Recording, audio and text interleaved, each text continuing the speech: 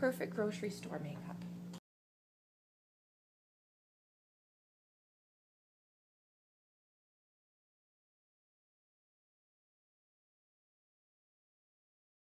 Down first, it's going to be darkest. I'm just going to gently sweep it along there.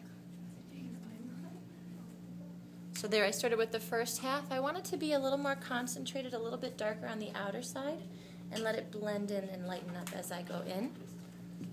So I'm going to pull it, just what the product that I've put on there, I'm just going to drag that in.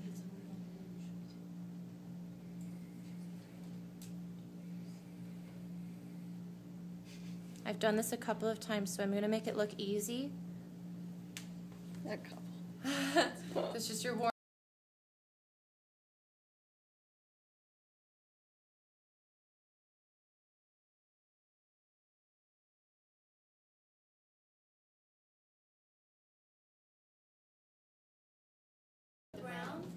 Yes. So your shadow, your contour shadow color. I'm going to touch my brush down on that far corner. I'm going to start blending it, and I should probably look at what I'm doing. Just going to start blending it, and then I pull it in. And again, right now, this is a this is a great beginner startup look.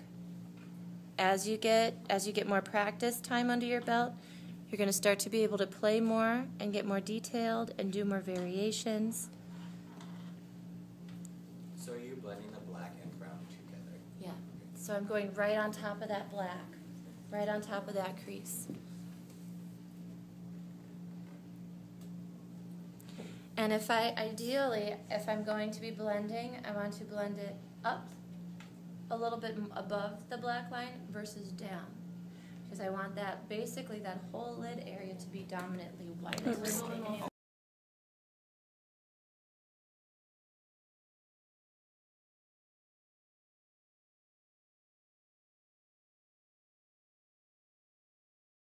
Pencils are typically easiest for if you're first starting, and it doesn't have to be super duper perfect either, because again, it's going to be from a distance, and the lashes are for the most part going to cover up that dark line. But you know, if you do pay the attention to detail, it's going to show. You know, it, it will make that difference. How And- high? How high? How you mean like how thick of a line? Start as small as you can. Start as small as is comfortable, because again, there's that philosophy of you can build it up. Um, don't go too nuts. Um, all you need is really just a strip. Um, depends on the look you want. You can also go thicker to the outside edge and get a little bit more of a winged look. There's play there. But for now, to start in a basic sense, as long as you've got just a nice black line across the top, just a simple one. And I am going to go out a little bit further beyond the corner of her eye to connect it up a little bit more to where I started the crease.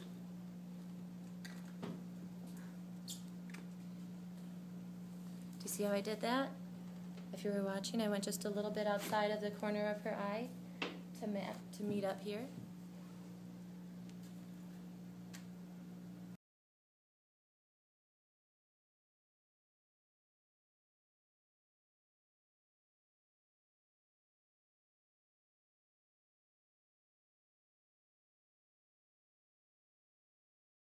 Usually, I personally, I'll tell you what I prefer.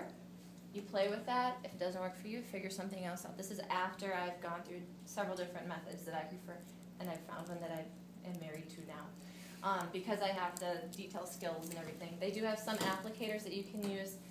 I mean, try the tweezers, see how that feels, and you'll save yourself hopefully a little bit of time. Um, I grab the lash at the base, or the band, that strip that they're all connected to, and I peel it off from there. These are all looped onto that band, all the little hairs. So if you grab the hairs, you can rip them off, strip them off of that band, if that makes sense. So I always grab the lash with my tweezers at the band when I remove it. Then I get it in my fingers, and I usually hold on to the hair part with my fingers because this has a little bit of stickum on it, and it just makes it a little bit easier. Then what I do, go ahead and keep your eyes open actually. I'm just gonna rest this on her eye. And these really aren't, these are not as drama as you could go, but these will be great for, I think, the girls. Um, Just not the boys. well, it depends what, what they'll be performing for. That'll be a different type of problem. So, So I just rested the, the, the eyelash on her natural lashes. I'm not gluing it on right now. What I'm doing is I'm measuring it to see if it fits her eye. Okay? And what I think I'm going to do is probably trim just a little bit off the outer corner because you see how it goes a little bit past that outer corner and makes it look a little bit droopy. A little bit until I get a little bit of a bubble on the top or the tip. And I gently run my lash on top of that. Bless you. Yeah, bless you over there. So you're holding it the lashes then, I'm holding the lash, the lash band down, the glue goes up. Because if we reverse that equation, we've got gravity working against us and could very easily have a very, very overly sticky eyelash, and that wouldn't be a happy time for anybody. and then I, you know, I just want to make sure that I've got a nice, even, thin strip of glue all the way across. I tend to make sure that I've got a good amount on either corner. Because those little corners like to lift. So that's one thing to look out for. It's always good to have um, some extra glue on hand in case the lashes start to lift off at the corners. Go ahead and look straight ahead.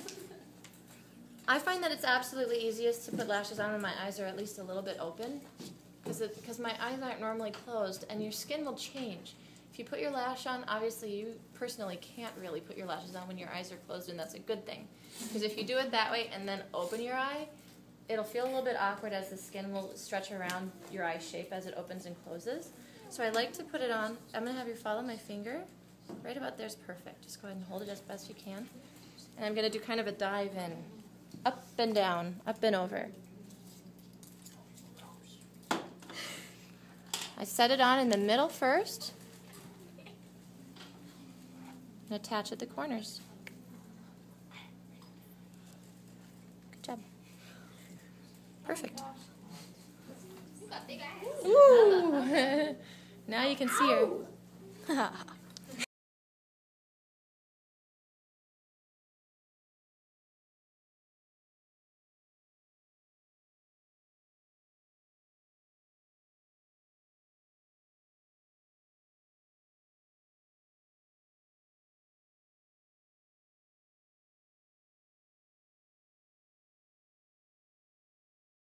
Okay, sure.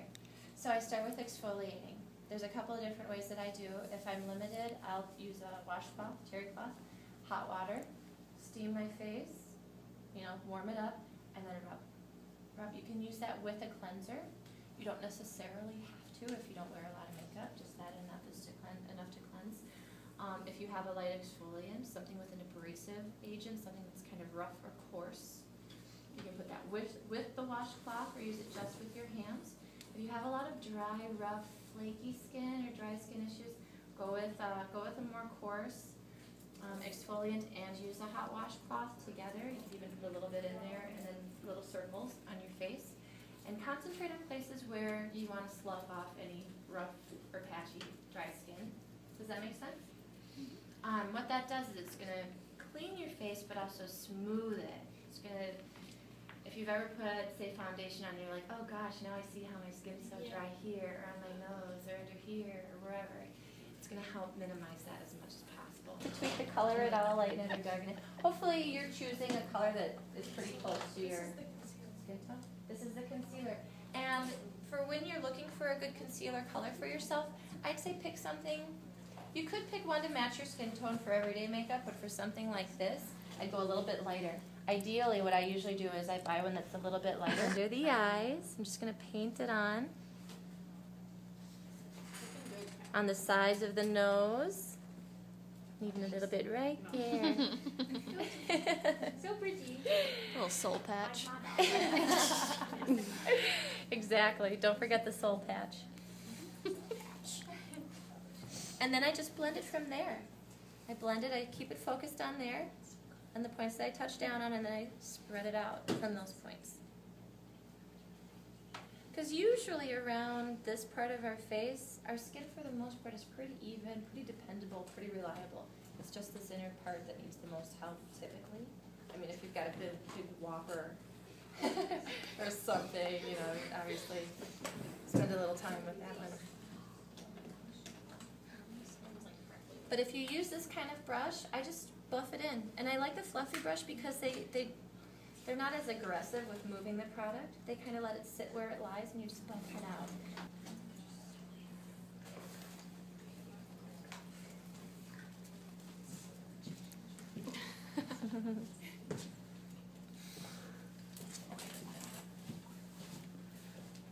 And by using a high quality, high pigmented concealer, you need to you get to use a lot less, which again means it'll last longer.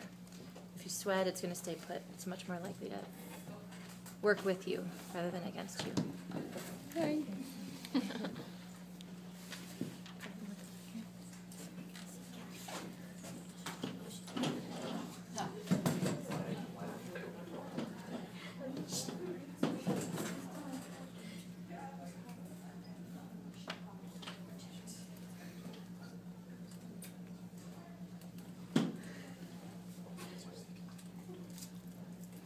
make sense, everybody? Okay. Concealer was a little tiny bit lighter, so rather than worrying about it in that moment, I'm just going to correct it however I want with the powder. So you have you actually have a ton of options and, and variations and control. But yes, I don't I don't necessarily again color match all the way through. I'm always kind of adjusting with undertones and shades, but that's I mean a little more involved than Mm-hmm. Everybody needs to worry about. But, but yeah, good, good option. Just when I'm telling them what to buy and what to do, it'll help direct. Yeah, and you know, it, it is, it's hard to try to get everything covered and everything perfect, mm. you know, in one shot. So, I mean, it's ambitious. We'll definitely do our best with that. But really, it takes time and practice and just getting your hands dirty with the process and taking some information, some tips, and then running with it. And exploring, and of course, making mistakes. That just looks a little more soft and natural, mm-hmm. you know? So I just kind of balance it out a few different ways, actually. And again, I'm focusing in the center of the face with the powder because that needs the most coverage usually. Mm-hmm. And then I'll just kind of swirl around a little bit of a darker shade on the on the frame. of the face. I like that. That's good. Made you smile. It helps. different face colors and tones that I've got here on my palette. This one here I actually use as a highlighter. It's, it's pretty much lighter than almost any skin tone. So it's so I use that as a highlighter to brighten certain areas. This is a lot closer to her natural skin tone, so I'm focusing on using this. And what I'm really doing is I'm like I'm mixing colors like an artist would. You know, for if you're oh that's not quite the right shade of blue for my sky, I'm tweaking it. So what I'm really focusing on doing when I look at her is getting a, again, a, that brighten middle of the face. And then what I'm gonna go do, and also I'm using that brush to get more coverage. Then what I'm gonna do is I'm gonna go down to a fluffier brush to get lighter coverage because she doesn't need as much color correcting on the outside of her face. And I'm gonna go with a color that's a, a shade that's a little bit warmer or a little bit deeper. Not crazy. I mean, if you look from there to there, it's probably hard to tell the difference even from here to there. But it's subtle. And it's just that above and beyond attention to detail that I personally really like. And it makes a difference when people see your face but they don't understand why. And it's kind of sneaky, but it's kind of that trade secret kind of territory. Um, otherwise, an easier option is to do a somewhat lighter color on your whole face. And then you can just go in and contour with some blush or some contouring powder or bronzer or whatever you like. And I'm just going to dust that around. Does that make sense? Mhm. What I, yeah, okay. I work on, start small, start small and think in terms of dashes. No, that's probably too light. Maybe you just get away with that here. That would be better. Maybe a mix of both, but that's a little bit bronzy, you know what I mean? Okay, so what I'm gonna have you do is turn your chin this way. We're gonna talk about contouring. I'm gonna take my brush and I'm gonna bury it pretty much right in her sideburn, right there. Sideburns and soul or right where the right where her hairline starts, right by the crease of that in her ear. I'm gonna start there, and then I'm just gonna. Now this is a technique that I'm doing that is gonna be helpful for you girls if you try. I'm doing just a little back and forth dash. Can you give me a sideburns? Heck yeah, brother. Heck yes, brother, get up here. we'll give you a Hulk stash. Can you see what I just did there? And how that's creating a shadow on her face? It's almost probably so natural or subtle that it looks like it's supposed to be there. So basically, the other side of her face would look Turn almost straight flat ahead. and weird. Maybe that would be a good contrast. Can I see? Wait, wait, wait. Yeah, we can't really see. This is the same one that- Now be careful when you're, right now what I'm doing is I'm contouring a chin bone for her, or a jawline, I should say. Now be careful not to just put on a five o'clock shadow. Keep it underneath, because we want us to go intuitively where a shadow would go, which would be right underneath here. Okay, and I do take it up, follow that l- jawline all the way behind the ear. I know it seems weird, but you just wait till we get it up together and do it. It's gonna be so cool. Okay. So we've got that. I'll also sometimes I'll go in just a little bit at the temples. This would be another good option for a bronzer, but if you if you don't have a lot of options and you don't want to spend a lot of time switching out powders, you could do this either with a bronzer or with a contour and let it you know work multiple jobs. The main the main focus that I go for when I contour or I put on the face makeup is that I want to brighten through here and I want a soft, warm frame around the face. What that does is it creates depth and it creates dimension and it draws the face out and makes it pop. Okay.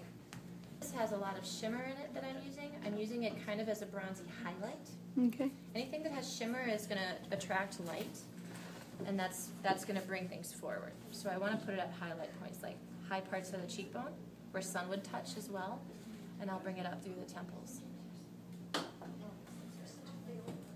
So above, like um, contour, bronzer, blusher can go kind of interchangeably.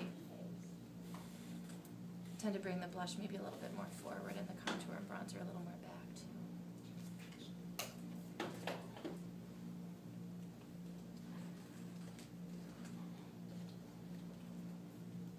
So I'm going to take this highlighting color, this really light color, remember? I'm going to wiggle my brush in there. I'm going to pop a little bit of highlight right on that top part of her cheekbone, and I'm actually going to drag it all the way back to the hairline. So this, this kind of like, think superhero mask. That patch, you want to actually highlight just a little bit. And so by playing with your powders, if you have a good highlighter, you can correct that without having to necessarily take anything off whatsoever. Just highlight through there. A lot of times I'll bring it up through the eye or through underneath the eye. You could even take a little bit of shimmer that I usually use very sparingly. I know how fun it is, but trust me. and even pop a little bit of shimmer on there. And that's just another another technique of color correcting is going in with a different color to kind of counterbalance that. Sometimes a little bit more in if you got the apple cheeks. But for now, a good general rule of thumb is I just touch it on a little bit in front of the bronzer and contouring. Okay? And when I do my blush, I dab it on. I give it the little shake so it's not too much. And then when I touch my brush to it, I do just a little twist too. You don't have to do that, but it just does a little bit more even. And if you've noticed, I have. I've used the same brush for these. Um, it's like a medium-sized brush. It's not so small for the eye. It's not. So, we start with contour, bronzer if you want it. You don't always need it, but it's an option for you if you use it. Blush through here, and highlight stacked on top at the top of your cheekbone. Okay? You could do just contour, highlight, blush, contour, bronzer, highlight. You could take out one or the other for blush or bronzer. It's so pretty. Did you do the other side? Yep. Some other areas or options for highlighting if you want to go in with that extra light powder are over the eyebrows, down the nose, through here, under the eyes, kind of through focusing on that T-zone center of the face area. Then we're going to talk brows. And you can do that with just a light, a really bright So I'm gonna go in with my brush, which in some cases would be your pencil. I'm gonna start at the inner corner of the brow towards the bottom. Now I don't want to make the brow any bigger than it is, but I want to start at the bottom of where the hair is. And then I'm gonna pull it in. That's a good shot. I did take these clips and make a good training video. Edit them all together. and then I'm gonna pull the product up. So essentially, I'm drawing a little line at the base of the hair of my brow line. And if your brows need a little reshaping, go beyond where Short, they sit small natural. strokes, and I'm pulling the product along the bottom. Even there, see where it's a little bit imperfect? You probably wouldn't need to even pay attention to that, but you could go in there and tweak it, and we're going to do a highlight. That'll cover that up, which is nice. So there are certain little goofs or just natural mistakes that'll happen. There's always ways to go in and correct it without worrying.